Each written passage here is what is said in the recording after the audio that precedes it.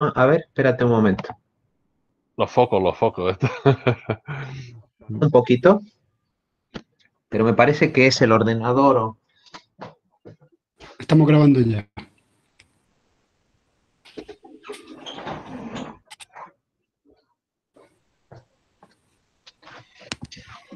Bueno, creo que va a tener que ser así un poco. Pero se oye bien. Se oye bien y te vemos, sí, sí. Sí, te vemos con el reflejo de la luz, pero, pero bien. Bueno, arrancamos entonces, ¿no, Javier? Estamos, estamos todos. Muy bien. Adelante. Adelante. Bueno, pues buenas tardes, amigos y amigas, compañeras y compañeros. Vamos a esta sesión del día de hoy, de este viernes, del seminario sobre postcolonialismos que está teniendo, creo, un buen desarrollo y además con una participación intensa de quienes asistís a las distintas sesiones, lo cual es muy gratificante. Nuestro invitado de hoy es el profesor Gerardo Pizarello, eh, de la Universidad de Barcelona, aunque lleva unos años eh, en lo que se llama Comisión de Servicios Especiales desde el punto de vista académico, porque está dedicado a la actividad parlamentaria.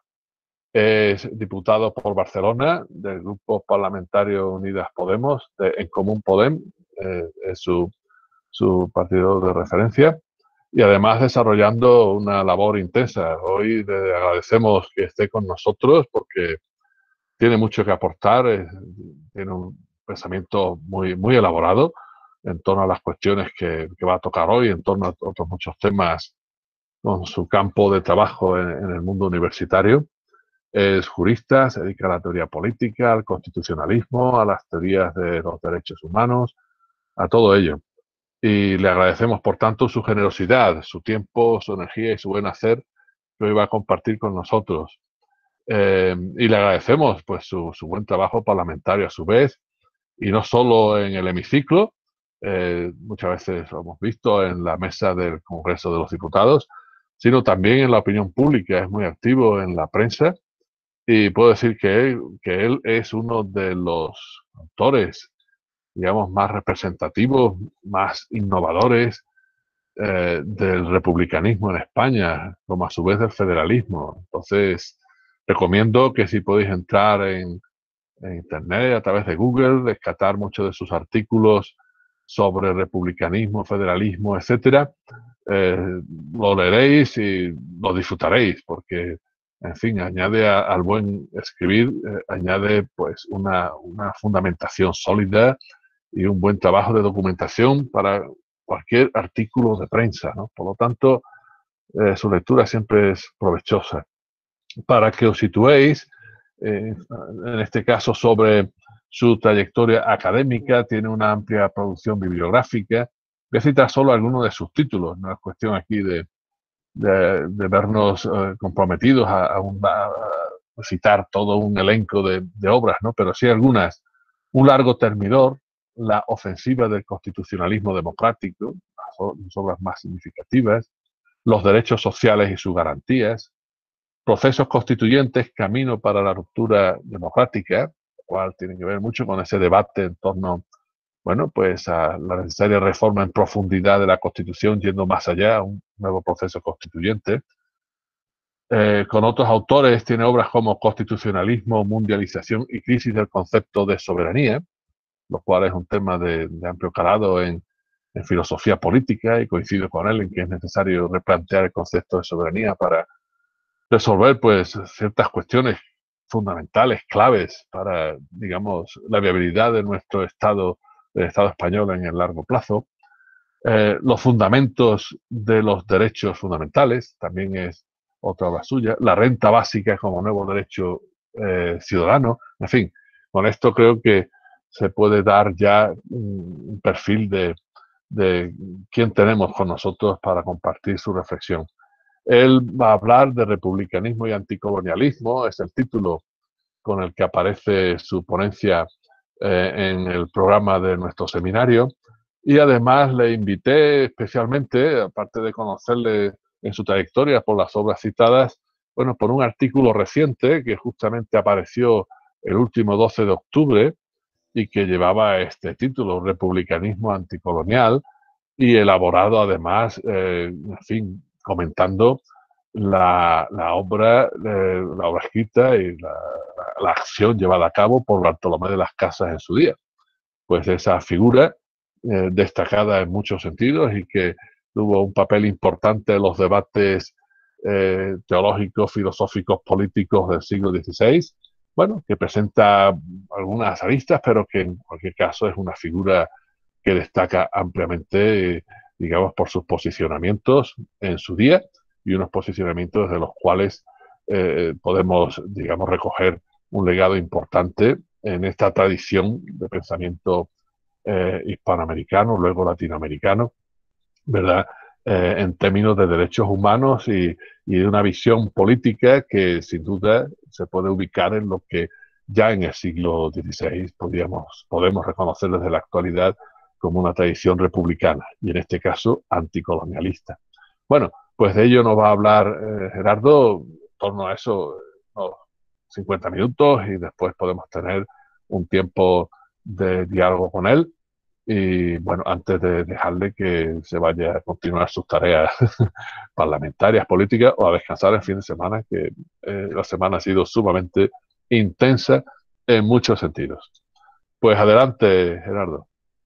Muchísimas gracias. Pues, pues, muchas gracias. La verdad, bueno, es que es un placer poder, eh, poder compartir este, esta sesión con, todos, con todos vosotros. Eh, muy agradecido al, profesor José Antonio Pérez Tapia por la invitación. También eh, es una persona con la que me unen muchas complicidades intelectuales, muchas complicidades políticas también. Una persona que admiro mucho. Eh, también por la manera de estar en el, en, el, en el, mundo, ¿no? Que me parece que es importante. Vivimos un tiempo en, el que no es solamente importante las cosas que uno dice, sino desde dónde se dicen y con qué actitud se dicen. Y para mí, José Antonio Pérez Tapias es una persona que con su forma, con su manera de hacer y de estar, también señala valores, ¿no? Que creo que es algo que, que es importante, digamos, en estos, en estos tiempos.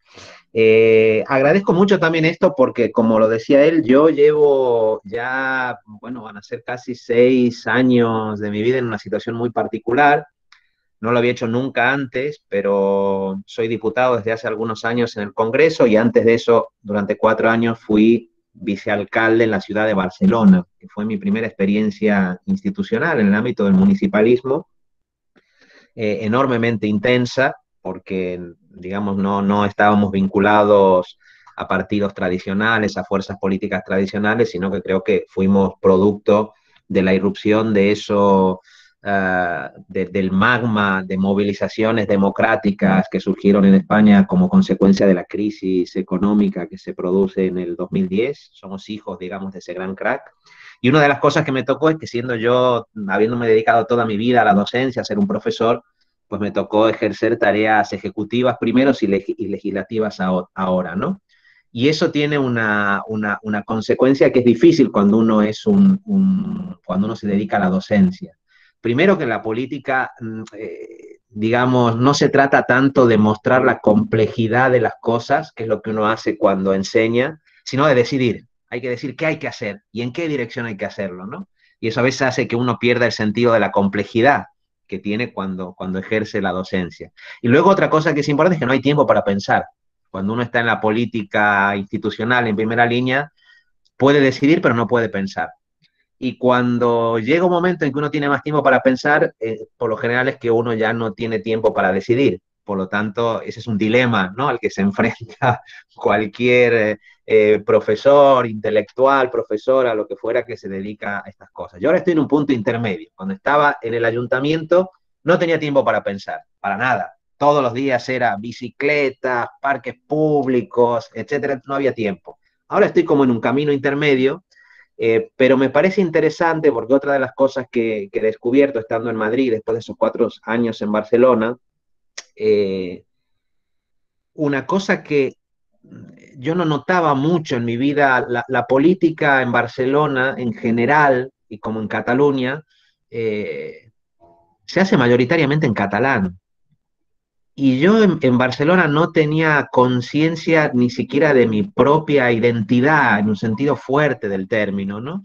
Y desde que estoy en Madrid, sí he tomado mucha conciencia de ser eso que en la época de la constitución de Cádiz se llamaban los diputados de ultramar, ¿no? es decir, los diputados americanos en Cádiz.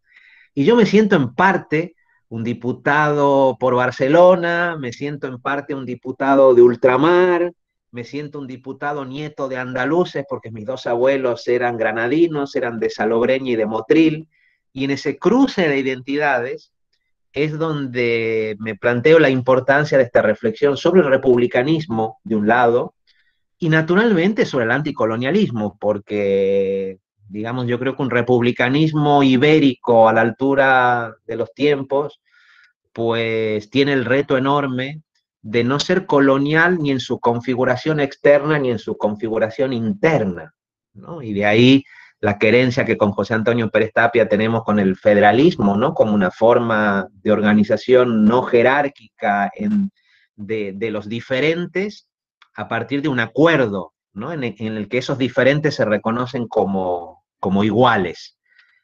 Y es aquí cuando llega el 12 de octubre, yo sentía la necesidad de pronunciarme sobre el 12 de octubre y pensé cómo hacerlo desde una perspectiva republicana que interpele a ambos lados del océano, que interpele a América, a Avia Yala, y que interpele también a España, que, que interpele a la península. ¿Con qué elementos construir, digamos, eso, no?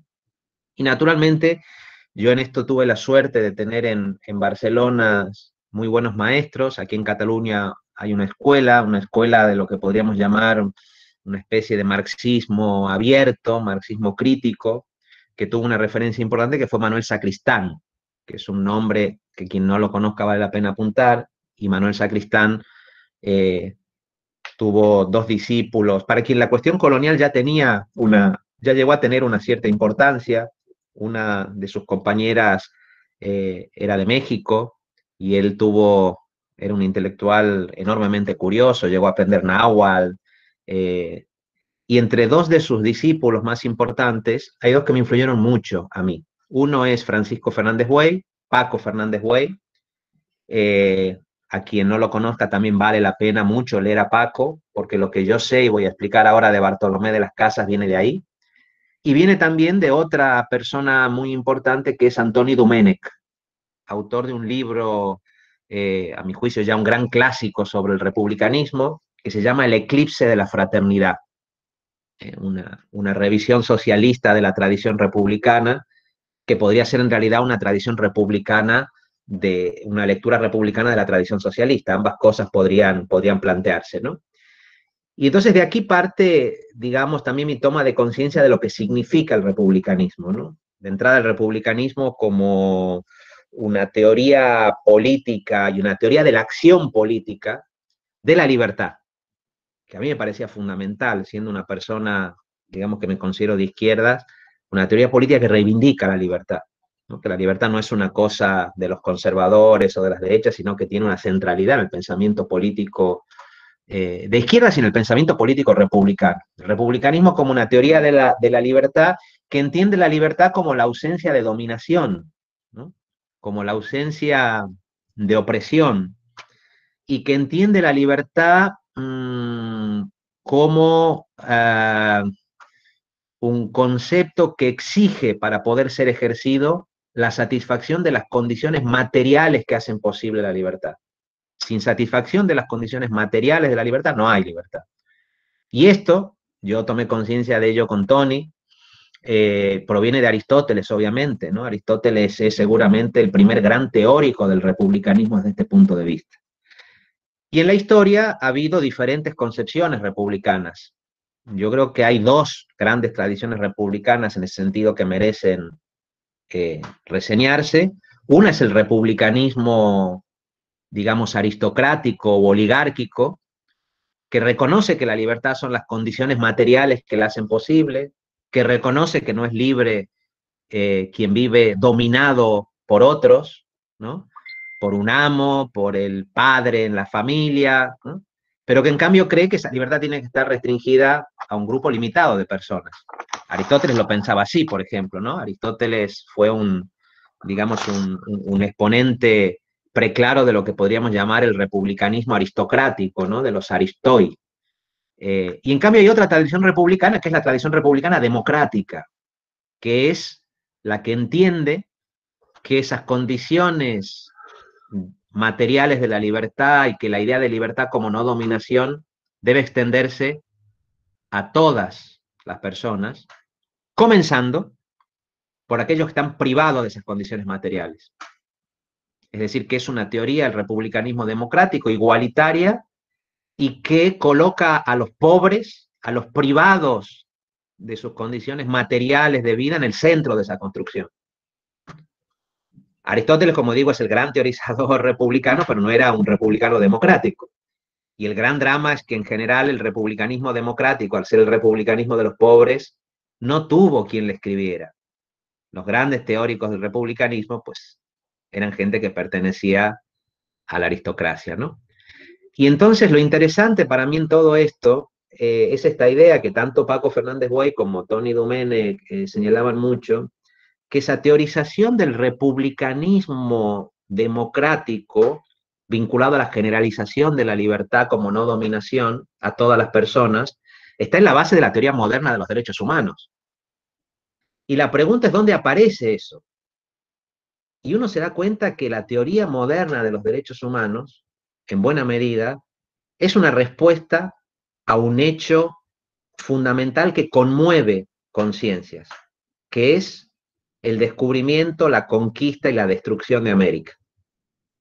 Y por eso, eh, entre los primeros teóricos de ese republicanismo potencialmente igualitario, democrático, se encuentran una serie de teólogos españoles que reaccionan frente al horror de lo que ellos mismos describen como la destrucción de las Indias.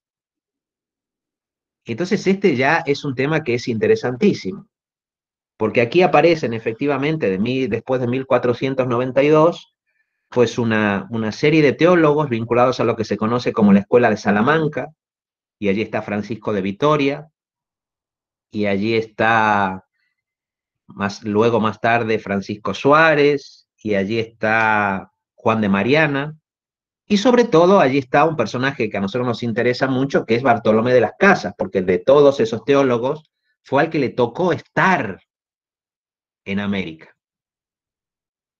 Le tocó estar en América porque era de una familia de encomenderos.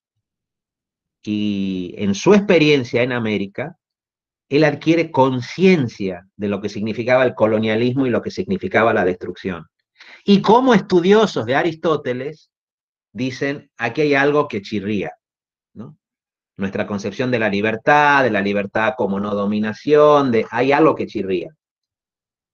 Eh, y efectivamente, es en esa España del siglo XVI, con el dominico Francisco de Vitoria, con el jesuita Juan de Mariana, con Bartolomé de las Casas, donde se configura esa primera gran teoría de los derechos humanos que luego va a influir en la Revolución Inglesa, en la Revolución Francesa, en la Revolución Norteamericana, que va a atravesar todo el siglo XX en las grandes revoluciones o en muchas de las revoluciones anticoloniales del siglo XVIII y del siglo XIX, que van a estar muy presentes esas ideas.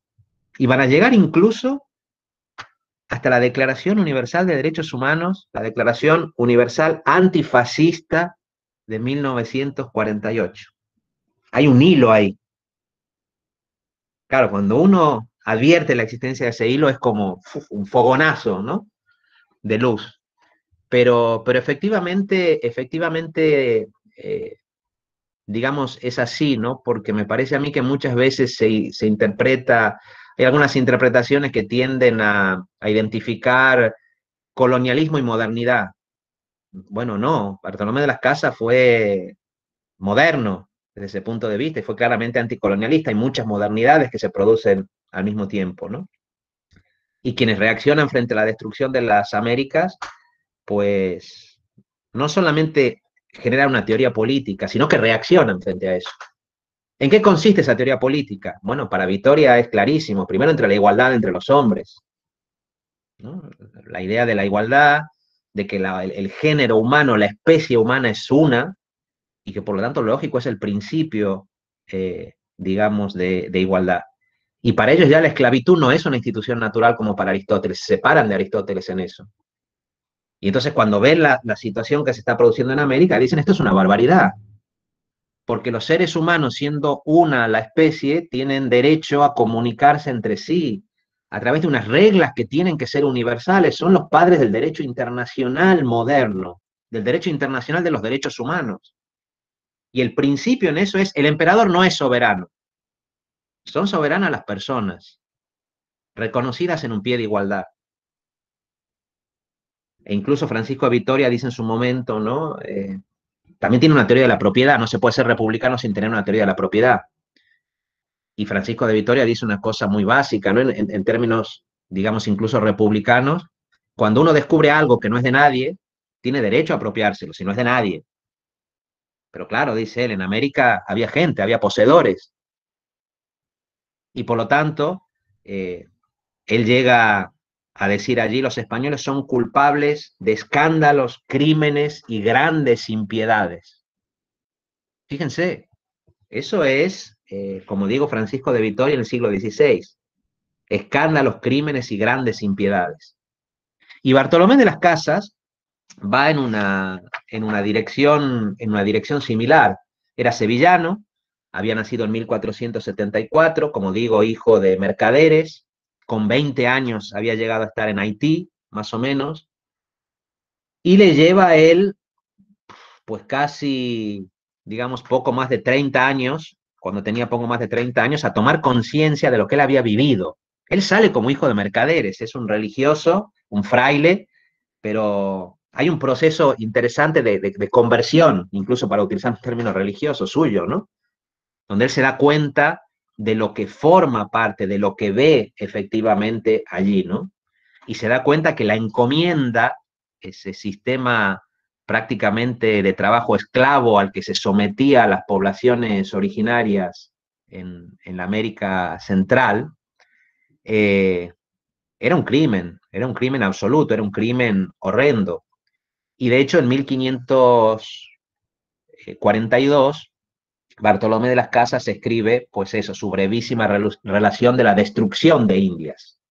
De la destrucción de Indias. Y llega a decir que hay 12 millones, calcula él en esa época, de amerindios muertos como consecuencia de torturas, de crímenes. Él no tiene en cuenta en esa descripción, por ejemplo, las enfermedades ¿no? que se generaban como producto, eh, pero en su cálculo 12 millones.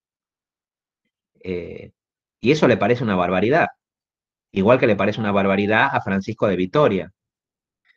Y es interesante porque esa generación no solamente se opone al colonialismo que está generando la monarquía más allá del océano, sino que también se opone a la destrucción interna que en este caso la monarquía absoluta está generando dentro de la propia Europa. Eso es, es fantástico. En 1521, es una cifra interesante para notar, es cuando Hernán Cortés entra en Tenochtitlán. En 1521 es el mismo año en que Carlos I, Carlos V, arrasa con los comuneros en Castilla y luego con las germanías valencianas, campesinos valencianos, y antes con los irmandiños gallegos, campesinos gallegos, y en 1521 es también eh, la guerra contra los campesinos anabaptistas alemanes. Es decir, que 1492 no solamente marca el colonialismo externo y la expoliación de los pueblos amerindios, sino también, en buena medida, eh, una ofensiva brutal contra los pueblos campesinos en Europa que se levantan contra las monarquías absolutas en, diferentes países de Europa. Y esto es absolutamente interesante, ¿no? Porque En el caso de Vitoria y en el caso de Bartolomé de las Casas, esto los lleva no solamente a condenar la destrucción de las Indias, sino a desarrollar una teoría republicana propia del buen gobierno, en la vieja línea aristotélica, que debe ser un buen gobierno antitiránico y antidespótico. Una teoría política de la libertad tiene que ser antidespótica y los monarcas absolutos, por la propia configuración, digamos, de la monarquía, son proclives a incurrir en ese tipo de despotismo y de absolutismo. Entonces es un pensamiento que está pensado para fuera de Europa y para Europa, ¿no? Y a mí eso me parece, me parece como una cosa fascinante. Y son esos teólogos españoles, dominicos, jesuitas, Juan de Mariana, por ejemplo, pues también es el gran teórico incluso del tiranicidio. Se puede llegar a matar al tirano si el tirano es injusto y no queda otra alternativa. claro, imagínense lo que significó eso en Europa. Todos los revolucionarios ingleses del siglo XVII. Eh, Sir William Coke, cuando condena al patíbulo a Carlos I de Inglaterra, había leído a Mariana. Locke conocía a Mariana. Locke conocía a Mariana y a, y Garcilaso. Los revolucionarios franceses conocían a Mariana. Florence Gauthier, que es una muy buena historiadora francesa, tiene una historia del derecho natural revolucionario. Florence Gauthier dice que la Mariana francesa, recuerdan el cuadro ese de Mariana con la bandera de la revolución de 1830. La Mariana francesa no es una imagen de mujer. Mariana es el nombre que los contrarrevolucionarios franceses le daban a la República y le llamaban Mariana por Juan de Mariana. El republicanismo es marianista. Entonces ahí hay un, hay un viaje de ideas que la verdad que, es enormemente eh, fascinante. Y Bartolomé de las Casas, que comienza haciendo una teorización sobre la ilegitimidad de la conquista, de la conquista española, acaba siendo una teorización del republicanismo democrático y del republicanismo revolucionario finalmente, ¿no? Como digo, esa es la escuela de Salamanca. Mariana quizás es, es uno de los, de los ejemplos, digamos, más, más claros, ¿no? Y en eso, eh, bueno, hay un momento en que Bartolomé de las Casas y Francisco de Vitoria obtienen una pequeña, un pequeño triunfo, que es en 1542, cuando como consecuencia de su batalla, eh, Carlos V, bueno, acaba pues eso, reconociendo ¿no? que había que, hacer una reforma legislativa y se, aprueban unas nuevas leyes que morigeran el trato que recibían eh, los pueblos amerindios como consecuencia de la encomienda. ¿no? Se constitucionaliza, diríamos hoy en términos modernos, esas relaciones coloniales, se les pone un pequeño límite, pero eso dura muy poco. Dura muy poco porque la reacción de los encomenderos es brutal brutal, brutal, brutal. Igual que sigue siendo hoy. Porque una de las cosas que me gustaba mucho de, Tony Domenech es que él siempre decía el nuevo partido de los encomenderos. Y yo cuando pienso en el Congreso de los Diputados y veo a los diputados de Vox que tienen amigos en Bolivia, eh, que son amigos de los grandes terratenientes, siempre digo el nuevo partido de los encomenderos. Los viejos encomenderos del siglo XVI siguen estando en América, a ambos lados ¿no? del, océano. Pues bien, en el siglo XVI la reacción de los encomenderos es muy fuerte y ese periodo de limitación dura muy poco. Eh, y entonces Bartolomé de las Casas empieza a perder influencia en la corte y se radicaliza. Y ya va hasta el fondo, digamos, de su teorización. ¿no? Y se da cuenta que el problema del colonialismo, hay un problema fundamental que no solamente tiene que ver con la imposición a sangre y fuego de la lengua de los vencedores, etcétera, etcétera, sino que tiene que ver también con algo que tiene una raíz económica.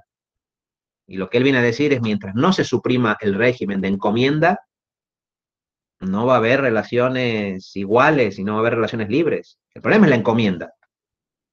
Entonces él dice, yo propongo la supresión a perpetuidad de la encomienda. Claro, eso exigía un cambio económico enormemente brutal, pero era lo mismo finalmente que pedían los campesinos europeos que se oponían al absolutismo, ¿no? La protección de los bienes comunes. No nos quitéis los bienes comunales. Sin bienes comunes no hay libertad. Y Bartolomé de las Casas llega a esta conclusión en la última época de su vida. Y yo digo una cosa ahí que es importante, que es que él se arrepiente de una sola cosa que había defendido, que es que en un momento dado él defendió la necesidad de importar esclavos negros africanos para intentar, pues, mitigar la tragedia que él veía que se estaba produciendo con los, con los pueblos, con los pueblos eh, indios, ¿no? Eh, y luego se arrepiente, digamos, de, se arrepiente de eso. Pero Bartolomé de las Casas, pues se convierte, digamos, en una figura, como digo, muy importante de eso. Eh, y esa teorización de los derechos humanos de la Escuela de Salamanca impacta en la Revolución Francesa, en la Revolución Inglesa, e impacta también en la propia Revolución Francesa. La Revolución Francesa está llena de referencias a Mariana y es interesante porque eh, la tradición republicano-democrática no solamente se construye como anticolonialista, sino como abolicionista, abolicionista de la esclavitud. Y ahí ya digo, una, teorización que en el caso de los teólogos españoles tenía orígenes eh, en Aristóteles, sin embargo se separa de Aristóteles a la hora de pensar que la esclavitud era algo eh, natural. Obviamente, Bartolomé de las Casas es un derrotado, es un derrotado por el partido de los encomenderos, es un derrotado por los teóricos de los encomenderos. Hay una famosa disputa entre Bartolomé de las Casas y Ginés de Sepúlveda en 1550 en Valladolid, donde Ginés de Sepúlveda, que era aristotélico también y que era un tipo brillante, muy inteligente, pero él defendía otros intereses. Y él dice que son bárbaros y que hay que aplastarlos. Y Bartolomé de las Casas dice, pero ¿cómo bárbaros? Más bárbaros serán los encomenderos y los conquistadores que cometieron crueldades. ¿Cómo se puede decir que era una guerra justa ¿no? cuando producía este tipo de consecuencias? ¿Cómo se puede decir que hay razas bárbaras? Bueno, los alegatos de, Bartolomé de las Casas son alegatos anticoloniales impecables en ese sentido, ¿no?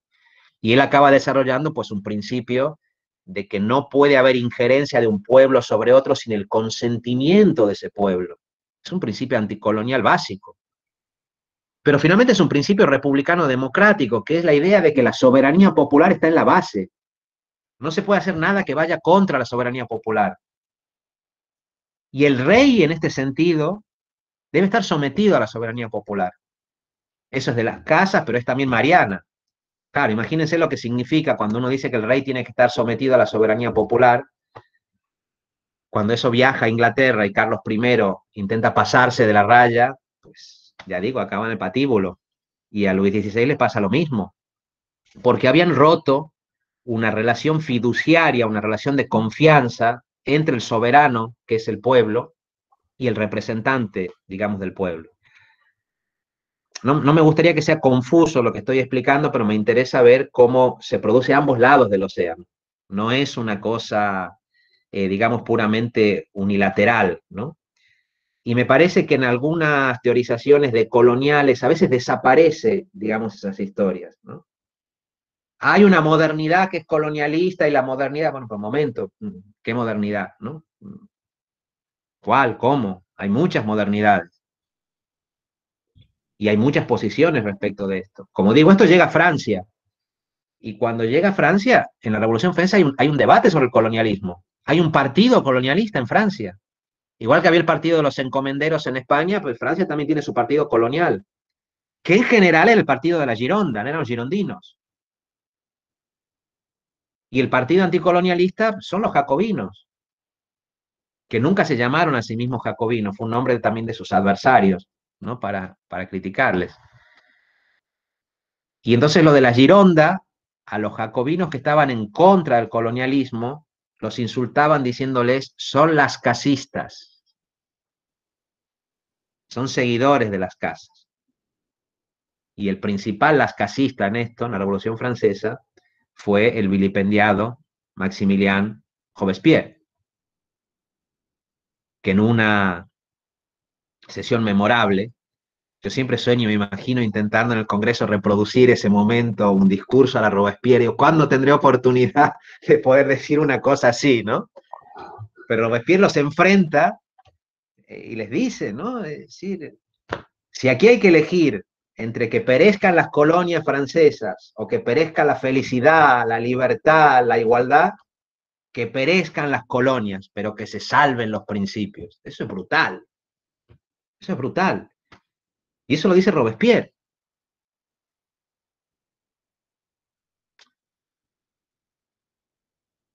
Y la esclavitud y el colonialismo se suspende durante ese periodo de vigencia de la Constitución Republicano-Democrática de 1793, la más democrática que hubo, digamos, en Francia. Y es lo que explica la existencia de ese libro precioso de James, Los Jacobinos Negros, referido a Haití, ¿no? a la revuelta haitiana, que no se hace contra el discurso de los derechos humanos, no se hace contra la modernidad europea, no, no, a ver, se hace en nombre de los derechos que se habían proclamado en la propia Revolución Francesa, de esa tradición republicano-democrática que el anticolonialismo haitiano asume como propia. Dice, claro, efectivamente, si hay igualdad, si hay esto, el colonialismo no está justificado. Y Haití proclama su primera república negra, no contra los jacobinos, contra Napoleón, que ya era otra cosa. Napoleón, como sabemos, es un personaje que está a medio camino. Hay un joven Napoleón vinculado a la, a la República y a la Revolución Francesa, que es el que triunfa militarmente, porque cuando Napoleón ganaba batallas normalmente era porque había podido reclutar al campesinado, a la gente de abajo, ¿no? con las promesas del republicanismo democrático, y luego está el Napoleón imperial, el emperador, que entre otras razones, no solo por esa, pero pierde las batallas porque ya eh, no, es capaz de apelar con un programa eh, republicano también de distribución de bienes, de reforma agraria, etcétera, etcétera, a sus propias bases, digamos, ¿no? Eh, y entonces ahí hay un vínculo, y ahí se empieza a, construir una especie de republicanismo ah, anticolonial basado en estas ideas, y los procesos de, de independencia de las colonias americanas, cuando cae preso Fernando VII, y están llenos de estos pensadores. Ahí está Mariana, ahí está Locke, ahí está Rousseau, eh, ahí está toda esta teorización de la Revolución Francesa, está Thomas Paine, el famoso Tom Paine, otro gran teórico, un republicano interesantísimo. Yo soy muy fanático de Thomas Paine, que había nacido en Inglaterra y que Luego llegó a participar en la Revolución Americana, se fue después de la Revolución Norteamericana y participó en la Revolución Francesa, se opuso a los jacobinos porque Paine era un gran humanista y estaba en contra de la pena de muerte. Hay un famoso debate ahí en el que Paine dice no se puede guillotinar al rey porque acabaríamos sentando un precedente que nos llegará a nosotros.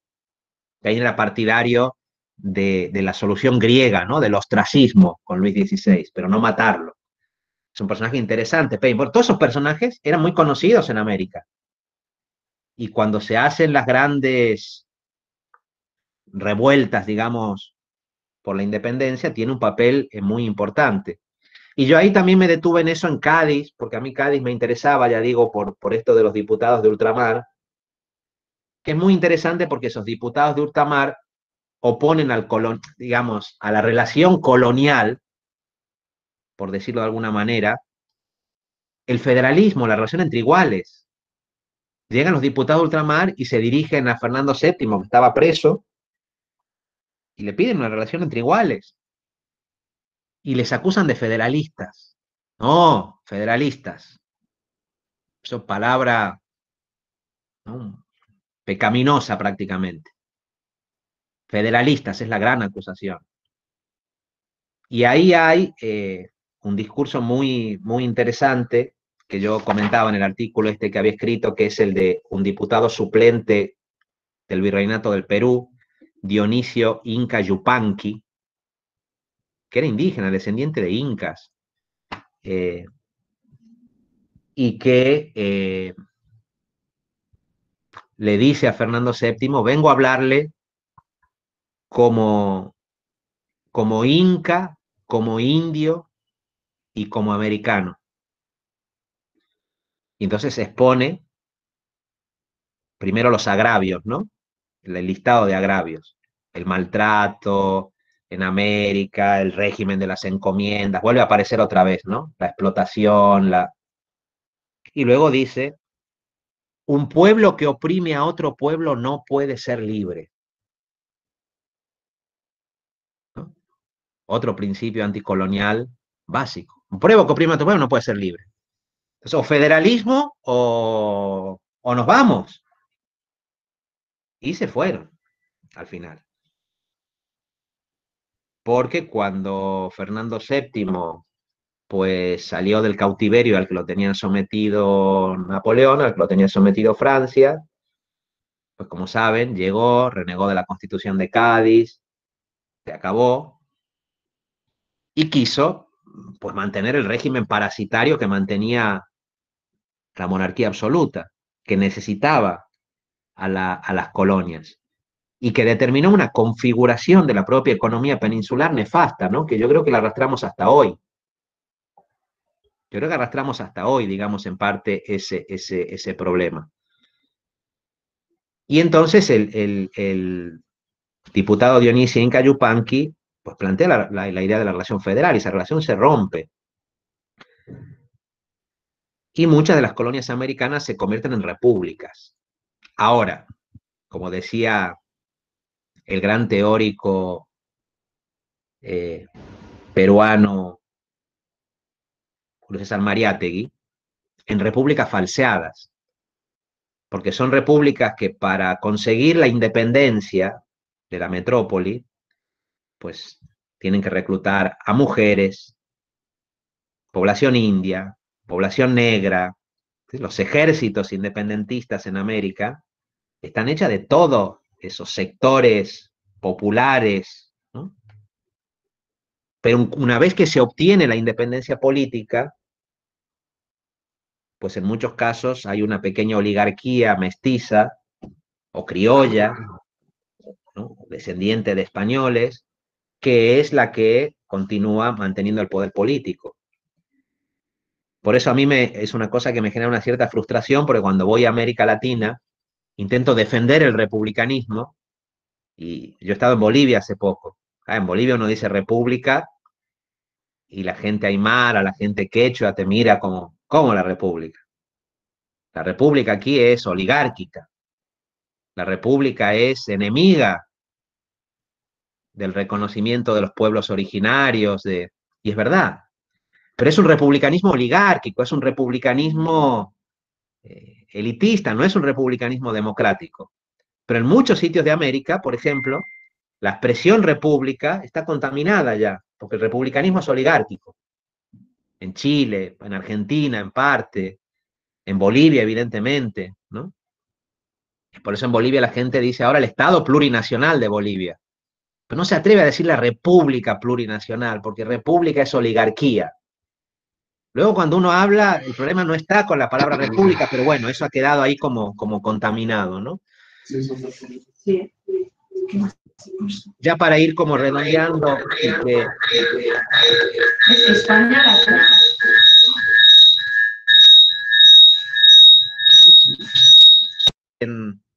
ahora, Paula parece que estaba.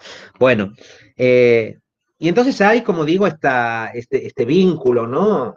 Transoceánico entre, entre estas ideas que atraviesa mucho la relación eh, entre España y América, porque aquí la reflexión sobre el colonialismo España-América es muy interesante. Y por razones culturales sigue siendo fundamental.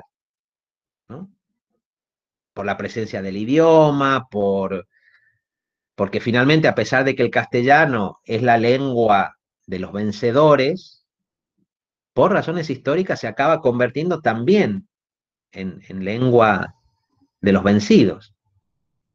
¿no? El Inca Yupanqui se dirige en castellano al rey Borbón Fernando, Fernando VII. Iba a ser el idioma de Simón Bolívar, descendiente de vascos. ¿no? Iba a ser el idioma del presidente zapoteca de la primera de la República Mexicana, Benito Juárez, ¿no? Pero hay, digamos, ese, ese, ese diálogo eh, anticolonial, ¿no? En el que la independencia aparece como la última alternativa frente a la negativa de reconocer una relación entre iguales. No hay relación igualitaria, independencia. Y eso ocurre, digamos, durante el siglo XIX, a comienzos del siglo XIX, por ejemplo, cuando en España, ¿no? Eso también lo recordábamos hace poco, cuando en España eh, se produce la primera gran revolución liberal, aunque el liberalismo español, como ustedes saben, Garitano no tiene nada que ver con eso que hoy llamamos neoliberalismo, no era liberalismo en ese sentido.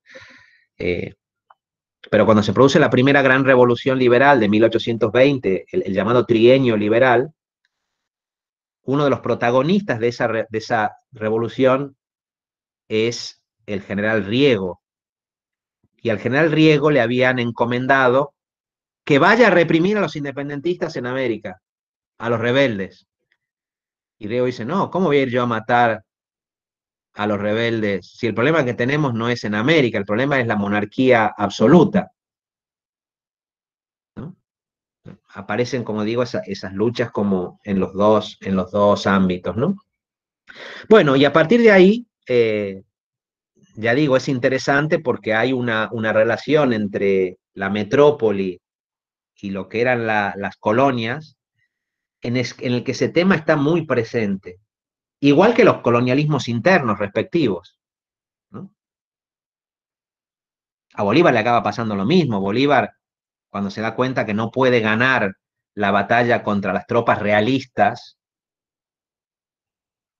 acaba en su discurso de Jamaica defendiendo la abolición de la esclavitud, porque sabe que necesita que la población negra, que la población afrodescendiente, que la población indígena se sume a los ejércitos, ¿no? Eh, bueno, y eso atraviesa, como digo, el, largo, el largo siglo XIX, el, partido de los encomenderos, el partido de las relaciones subordinadas eh, frente al partido republicano democrático, defensor de relaciones igualitarias.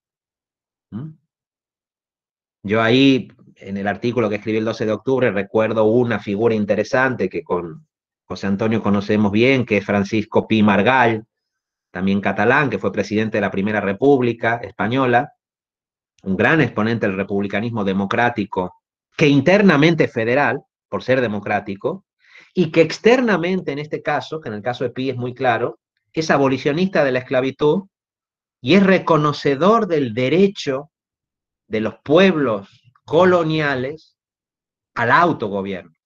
Eso lo defiende Pi para Cuba, por ejemplo, o para Filipinas. Dice, si no permitimos que Cuba y Filipinas decidan libremente su destino, vamos a perder Cuba y Filipinas. Y se perdió. Y en este caso concreto, me parece a mí, ya digo, de la relación entre, entre, entre España y las, y las Américas, estas historias que estoy explicando aquí me parece que siguen. O sea, yo creo que se puede rastrear esa tradición, los lascasistas, los marianistas, la gente que estuvo con los momentos de profundización democrática de la Revolución Francesa, eh, el anticolonialismo, el abolicionismo de la esclavitud. Hay una línea que viene desde el siglo XVI, desde el siglo XV, perdón, cuando se produce el encuentro, la conquista, la destrucción de América, etcétera, etcétera, de ese momento hasta la actualidad. Para mí hay un hilo complejo, no lo quiero tampoco eh, simplificar hasta lo grotesco, hay complejidades, pero hay un hilo, hay, hay esas dos tradiciones. Las y los descendientes de las casas, las y los descendientes de Sepúlveda. El partido de los encomenderos, el partido de las y los defensores de la relación entre bienes comunes y libertad, entre bienes comunes y democracia, grosso modo. el federalismo como posible relación de iguales entre los pueblos. Eh, y me parece que ese es un elemento, un elemento clave, porque yo una cosa que aprendí de, Tony Domenech, y en eso, con eso acabo, es la importancia de pensar estos temas, porque hubo, hubo un momento en que se produce una especie de descubrimiento del pensamiento republicano, ¿no? A través de algunos constitucionalistas de los Estados Unidos, Cass Sunstein, eh, o teóricos políticos, Philippe Petit. Petit, eh, Petit fue eh, un autor muy reivindicado, por ejemplo, por, por José Luis Rodríguez Zapatero, ¿no? el que fue presidente del gobierno, que era un republicano petitiano. Pero el problema que tenían esas construcciones republicanas, como bien dice Antonio Domene, es que eran poco situadas históricamente. El desafío es no pensar simplemente en abstracto, sino las formas históricas concretas que adoptan ese tipo de vínculo. Y eso no impide ¿eh? reconocer, como digo, una cierta tradición republicano-democrática. No impide reconocerla, pero hay que situarla, digamos, históricamente. Y ahí aparecen cosas que en muchos libros de la Academia Norteamericana sobre republicanismo no aparece, no está en las casas. Dice, ¿dónde está Bartolomé de las Casas aquí? ¿Dónde está la escuela de Salamanca? ¿Por qué no están? ¿Por qué en las construcciones anglosajonas o en muchas de ellas no aparecen lo suficiente, no? Y eso es importante y eso explica, digamos, muchas, eh, explica muchas cosas, pero a mi juicio deben, deben tenerse presentes porque nos dicen mucho también de las tareas que un republicanismo anticolonial tiene, tiene hoy. ¿no? Yo a veces lo hablo con gente en América Latina. Dicen, no, Europa está perdida. El anticolonialismo tiene que ser anti-europeo. ¿Por qué? Dice, bueno, pero un momento, ¿cómo anti-europeo? Y las luchas de los pueblos campesinos en Europa, y las batallas de las casas, y durante la Revolución Francesa, y... No, la Revolución Francesa, la Ilustración, es la modernidad, y la modernidad oprime. Bueno, momento, es que la configuración no es una configuración estática, hay relaciones eh, históricamente datadas, con conflictos internos, hay disputas por, ¿no? Y no se puede regalar simplemente, me parece a mí, como eh, conceptos de ese tipo, ¿no? Tony siempre decía, hoy se coloca a Hobbes como un gran pensador moderno, y Hobbes era un defensor de la restauración absolutista. Básicamente era un señor que tuvo mucho miedo cuando vio lo que ocurría eh, con las reacciones republicanas contra el absolutismo en Inglaterra y del miedo ese dijo poder absoluto, ya, otra vez la monarquía absoluta. Bueno, puede ser que Hobbes sea moderno en ese sentido, pero... Eh, y la tradición republicana de los diggers, los levelers, los campesinos igualadores, ¿no? No eran eh, modernos. Bueno, eso es más o menos lo que, lo que quería como, como contarles, a ver a partir de ahí eh, qué les resuena de lo que he dicho y si podemos tener un, diálogo o lo que les interese. Muy bien, muchísimas gracias Gerardo por tu magnífica ponencia. Yo creo que arroja mucha luz para, para muchas cuestiones que nos interesa debatir y profundizar en ellas, desde la tradición republicana, los componentes anticolonialistas de esa tradición. Bueno, además en este seminario que se bueno, organizado y llevado a cabo telemáticamente, pero desde la Facultad de Filosofía y Letras de Granada, desde la Universidad de Granada, por tanto, bueno, pues es muy de agradecer, por ejemplo, la referencia que ha hecho a Suárez, nuestro paisano Francisco Suárez, que, eh, bueno, tuvo un peso también importante en el pensamiento no solo español y de las escuelas, la escuela de Salamanca y otras que siguieron en el siglo XVII, sino que tuvo un peso enorme en Europa, en Europa. Eh, durante un tiempo importante. Bueno, pero ya en este caso no es cuestión de resaltar su metafísica y otras elaboraciones, pero su misma elaboración del concepto de soberanía. Y como bien has dicho, eh, citando a otros autores, eh, estudia y, bueno, y se pronuncia ampliamente acerca del derecho de rebelión, cuando no se cumple el pacto, ¿verdad?, por parte de quien gobierna fuera el rey u otros, como en América los reyes u otras figuras institucionales del momento, ¿no? Es importante. Y luego, bueno, desde Granada también, como has mencionado, la figura de Riego u otros, pues hay que recordar a Mariana Pineda, ¿verdad? Que, bueno, pues es una figura emblemática de ese eh, republicanismo inserto en la tradición liberal de aquellos momentos en el siglo XIX, eh, distinta de lo que luego es el liberalismo posterior y el neoliberalismo. Claro, desgraciadamente son figuras eh, muy poco conocidas. Es decir, eh, yo muchas veces digo también de Roma que si Suárez no hubiera sido español, hubiera sido alemán, aquí tendría en Granada pues una gran avenida y no solo la placita dedicada a su nombre en el lugar. bueno, hay un instituto, el más antiguo de Granada, pero es muy desconocido su obra y su pensamiento, es una figura de máximo nivel, ¿no? Quiero decir que nos falta mm, bueno, una tarea importante de recuperación de ese vector más em, humanista, eh, abierto, em, progresista en su día, republicano, anticolonialista, de la propia tradición. No solo hay que beber de otras tradiciones, sino recuperar, hacer ese trabajo también de memoria ¿verdad? Y de memoria también intelectual y de memoria, bueno, y, luego pues recuperar eso pues a través de los filtros que haya que hacer respecto a cómo interpretamos la modernidad o las modernidades, cuestión que por mi parte hablaba ayer, y cómo hay que recuperar, bueno, pues un pensamiento que en su día, como has mencionado, pues era elaborado por teólogos con una fuerte carga filosófica y especialmente aristotélica, venían de la escolástica, y bueno, pero eh, digamos, pasando eso por los filtros bueno, de un pensamiento que asume una secularización que llevemos a cabo bien de eso, pues hay una herencia muy importante que retener ahí y que además funciona como un cauce de diálogo entre los sures, ¿verdad? El sur de Europa, nuestros sures, hablamos de Andalucía, eh, los sures eh, de América o de otras latitudes, ¿no?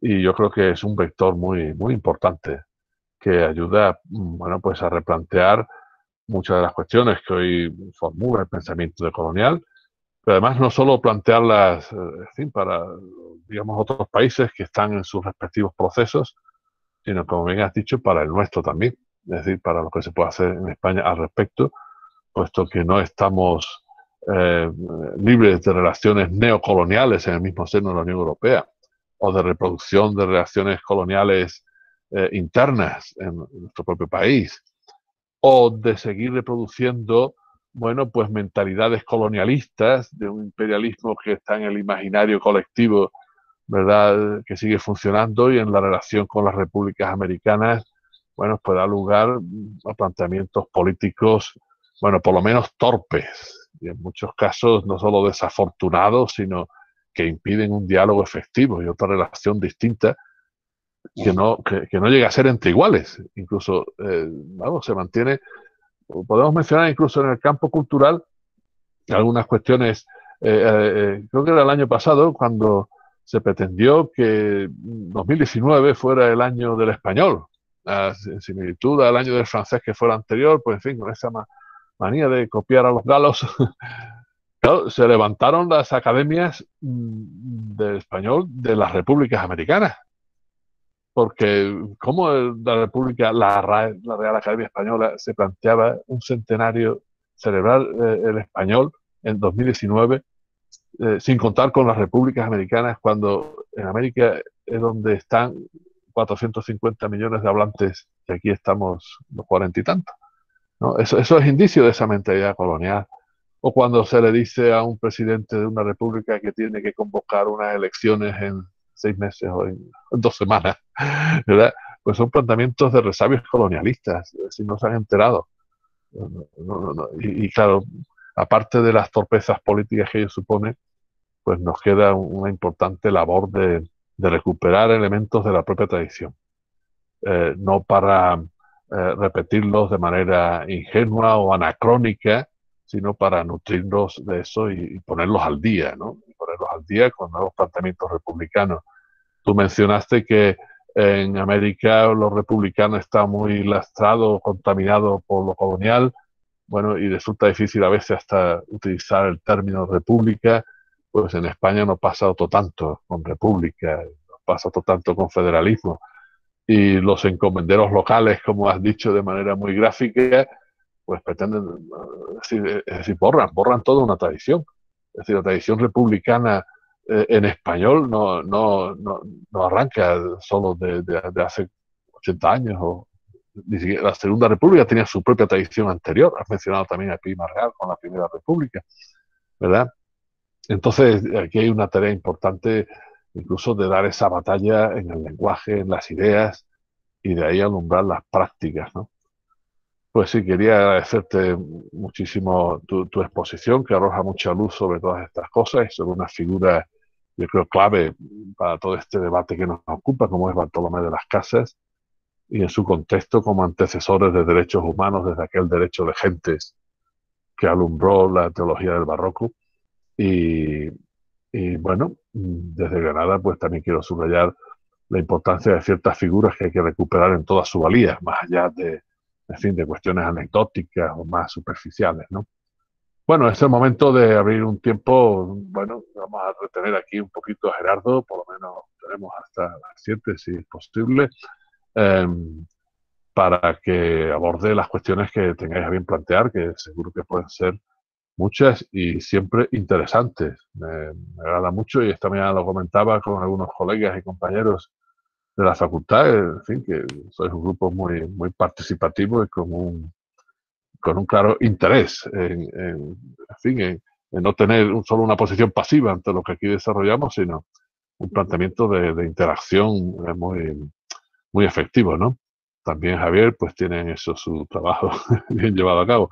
Así que Javier, sigue trabajando y vino, a quien le toca. si hay palabras pedidas.